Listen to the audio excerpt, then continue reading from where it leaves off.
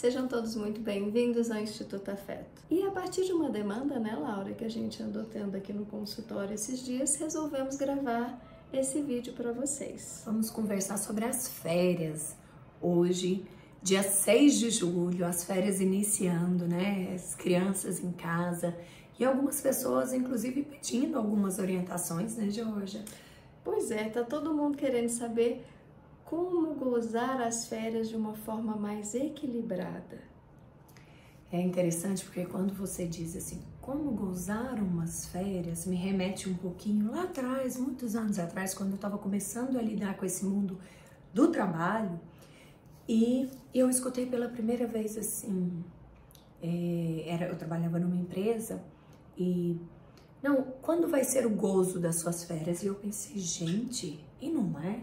E não Nunca parei é? para pensar que seria um gozo das férias. Por que será esse nome, né, Imagina, a Jorge? gente fala, né? Gozar nesse sentido do gozo das férias é sinônimo de satisfação, Prazer. de prazer, de proporcionar a si mesmo uma atividade física, moral e intelectual que faça com que você renove suas energias e suas forças.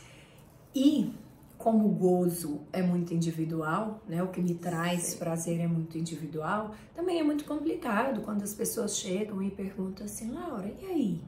Né? O que fazer nas férias? É, de que forma levar isso mais leve? O que, o que fazer com as crianças? Ou o que eu fazer por mim?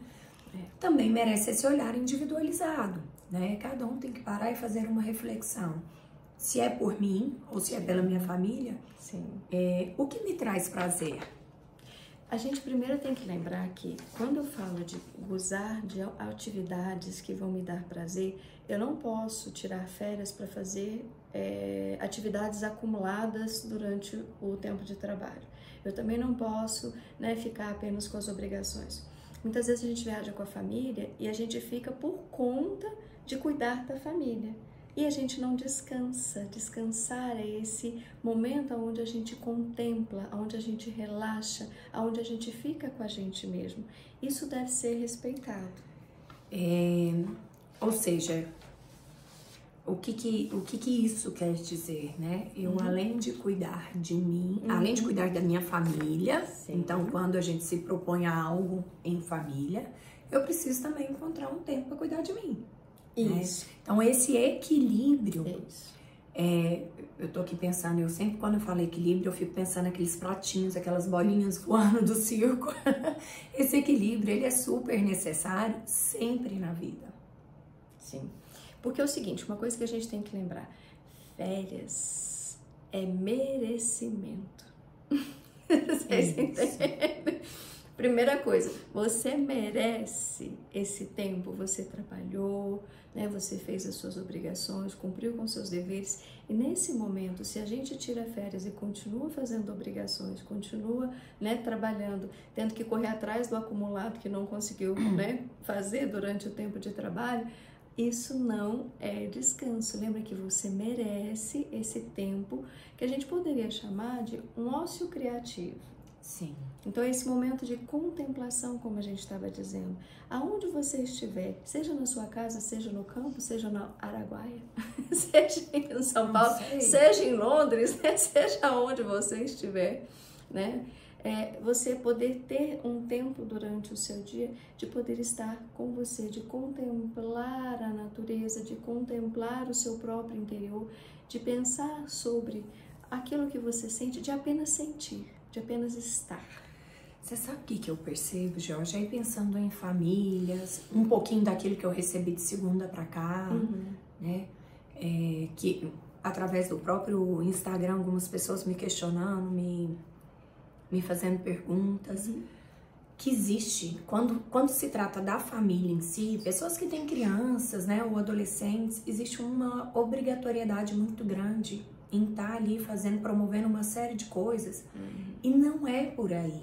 Não. O que, que as pessoas precisam entender? Mas e eu acho que eu recebi isso porque é muito meu movimento, né? Você me conhece de Sim. perto, sabe? Sim. Eu tenho esse movimento, inclusive na época de aula, que sexta-feira à tarde é o dia que geralmente eu fico por Fica conta das meninas, meninas, né? né? A gente já faz alguns programas. Mas é importante entender o movimento individual. Sim. Então eu fiz, porque foi isso que aconteceu, né? Eu mostrei uma programação ali, e aí comentaram alguma, algumas coisas. Cada casa, cada família, ela tem um ritmo, uma forma de gozar essas férias. E isso precisa ser olhado de forma individualizada. Uhum. Então, às vezes, é uma família que gosta mais de ficar em casa. Ah, vamos fazer uma sequência de. É, são adolescentes, vamos fazer uma sequência de, de filmes, né? Sim, vamos mergulhar séries. numa série, uhum. alguma coisa assim. Ah, a tela em excesso não é legal. Não, não é, mas é a programação dessa semana Sim. de férias que é o gozo. Lembra que a gente estava falando aqui que você é, tem o direito, você ganha esse direito de usufruir, né, de gozar as suas férias. Sabe uma coisa fantástica que eu lembrei, você tá falando, né, ah, assim que Leonor entrou de férias, a primeira coisa que eu percebi foi, eu não tive que acordar às 6 horas da manhã para levá-lo para aula. Eu falei, nossa, isso para mim já é umas férias, eu poder levantar, por exemplo, às 7 horas e não às 6 horas, porque tem paciente, né, uhum. né, logo depois das 8.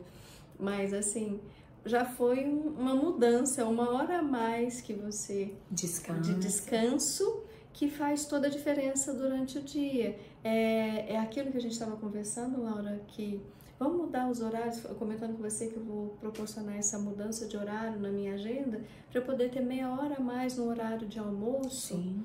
É um descanso, isso não é férias, mas é um descanso. Porque as férias é aquilo que você realmente se organiza e separa, tá? Não só o tempo, mas também reservar dinheiro. É uma Sim. coisa que as pessoas confundem muito é a questão assim de objetivos e metas e desejo, né? Desejo é uma coisa, desejo é aquilo que eu quero. Uhum. É um objetivo, eu tenho um objetivo, mas às vezes eu não sei como alcançá-lo. A meta, ela estabelece como se conseguir aquilo. Então, por exemplo, eu tenho umas férias que eu quero gozar, que eu quero né, tirar. Então eu preciso dizer, eu quero ir para onde? Eu quero ir para a praia. Quanto tempo eu preciso de conseguir né, guardar Aí dinheiro para ir para a praia? Com a viagem, né? Uma viagem, por exemplo, né? Então, assim, eu vou, eu vou pensar quanto eu preciso de dinheiro, então eu já vou olhar, vou orçar e vou então já organizar o meu orçamento para poder fazer a viagem que eu quero fazer. Uhum. Então, o que acontece muito, as pessoas elas vão gozar, por exemplo, querem gozar férias, querem aproveitar, né? As férias, mas elas não se organizam para essas férias. É, semana passada eu estava muito conversando sobre isso aqui no consultório, porque exatamente, aí deixou para uma programação em cima, por exemplo, Georgia, né? uhum. né? É, minhas férias de dezembro tá inteira organizada, tá pronto, agora nós estamos fazendo só essa organização financeira daqui até lá. Já está decidido, passagens já estão sendo pagas, né? E essa organização, pensando financeiro, pensando na própria agenda do consultório, né? Uhum. Porque caso tenha pacientes que precisem, no caso de parto, alguma coisa assim nessa data, eles uhum. já ficam informados. Sim. Então, essa organização é extremamente importante, mas é muito importante a pra gente quê? lembrar. Para que a gente precisa se organizar assim? Para que a gente não fique preocupada, porque a preocupação ela leva a estresse, ela leva a ansiedade, ela leva a outros processos psíquicos que nos prejudicam e não nos dão paz e descanso merecido. seja para as férias ou pós-férias, né? Então, é importante a gente lembrar assim que as férias a gente pode gozá-la de várias formas, né? A gente pode organizar então uma viagem, uhum. uma viagem mais barata, uma viagem mais cara, né? Depende Sim. dos objetivos, do que, que a gente deseja. Mas também podemos curti-la aqui. Sim, também. Né? Então, com programas que sejam acessíveis, o que, que tem é, na cidade que atrai aquela idade, ou a minha idade, ou a idade dos meus filhos, dos meus adolescentes, né? Uma simples ida para o parque. Para o clube, né? Para o clube. Aquilo que você estava contando aí, né? Que você se organizou então para não ter que levantar às seis. Eu já continuo fazendo toda essa rotina cedo para que dê 14 horas eu consiga ficar à tarde, fazer algumas coisas, né? Tem dia que vai ser, vão ser coisas minhas, uhum. tem dias que vão ser dias com as meninas. Sim. E nem sempre tudo precisa envolver um financeiro mais pesado. Eu acho que isso é uma coisa importante, porque às vezes as pessoas podem pensar assim, nossa, Laura, mas isso é dispendioso, né? Vai ficar caro. Não, nós temos parques, nós temos muitas coisas legais para fazer em Goiânia. Sim. Realmente usar uma criatividade, né? O quanto mais a gente conseguir usar espaço livre, eu fico aqui pensando, eu falei em parque, aí eu vou lá, já fico imaginando um andar de patins, aí eu vou lá pro ativo, né? Mas Você tem gente que gosta de pegar um livro, esticar uma canga, pegar um livro, ler, né? Que são coisas que o goiano não tem muito hábito, mas mundo afora tem. acontece com frequência, Sim. né? Leonora gosta muito, por exemplo, ele gosta muito de discutir sobre as coisas, conversar mesmo, sentar e conversar. Então a gente senta numa lanchonete, a gente senta em casa, a gente uhum. senta num lugar dentro do carro. A gente conversa muito, muito. As nossas conversas são sobre os livros que ela lê, sobre séries que assiste, sobre filmes, personagens, é, colegas, amizades, então amores, dissabores da vida. Então assim, a gente conversa sobre as coisas o tempo todo e essa, esse, esse canal de diálogo, de repente as férias é um momento, se isso não está estabelecido, de poder começar a estabelecer esse canal de comunicação entre a gente e os assim, nossos filhos, né? Os nossos filhos e a gente. A gente conversa até engraçado, porque a gente não combinou nada disso, mas eu ia falar agora sobre qual é esse papel principal é, das férias é, com a família e consigo mesmo um vínculo. Melhorar Sabe aquele momento de trabalhar esse vínculo, de fortalecer é. consigo mesmo e com as pessoas ao seu redor? Né? É aquele momento assim, Sim. dessa entrega. Então, tem alguma coisa precisando ser lapidada, vamos aproveitar, utilizar esse tempo que está aí. É aquilo que a gente fala de tempo de qualidade.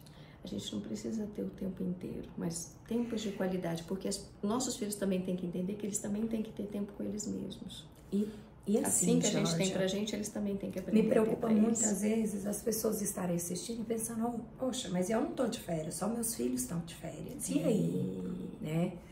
é, aí a gente entra no tempo de qualidade.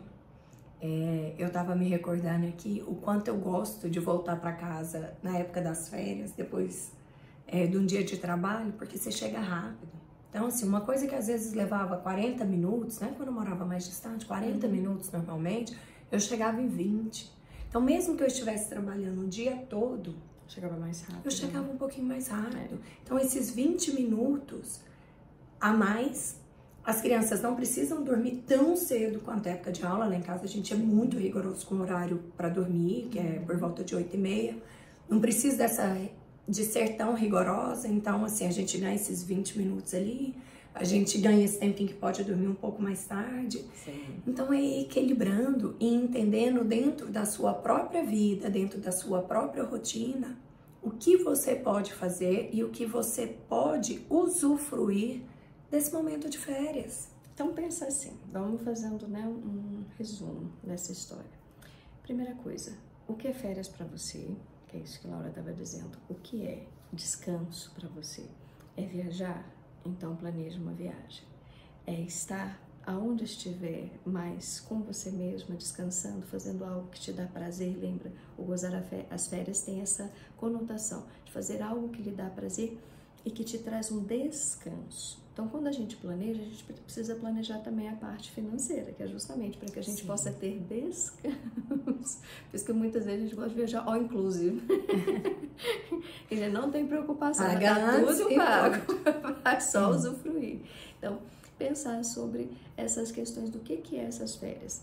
Em segundo lugar, pensar com quem você quer passar essas férias, esses momentos de descanso, porque férias é merecimento.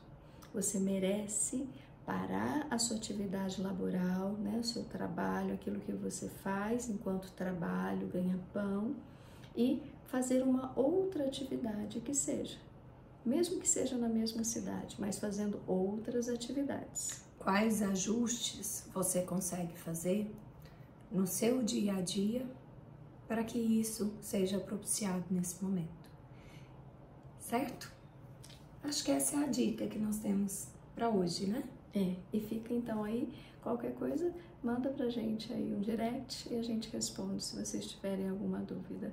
Boas férias a todos vocês, Curtam né, as férias de vocês, aproveitam para fazer aquilo que realmente é importante para você. Que traga descanso e paz, para que você possa voltar ao seu trabalho com toda a força e toda a energia.